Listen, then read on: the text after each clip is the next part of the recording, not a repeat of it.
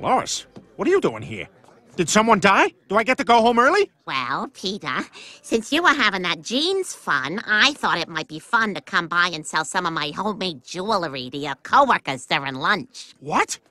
Lois, you can't do that. Once a guy's wife sells something in the break room, no one ever looks at him the same. Two years ago, Bentley's wife made him hang a sign up sheet to sponsor her in an AIDS walk, and we've hated him ever since. Don't look at me, Bentley. Well, Peter, all you have to do is say you like my haircut and I'll leave. Never. Suit yourself. Everyone, I'm Peter Griffin's wife. I took a jewelry making class last month with a group of preschool moms, and now I'm gonna do it as a career.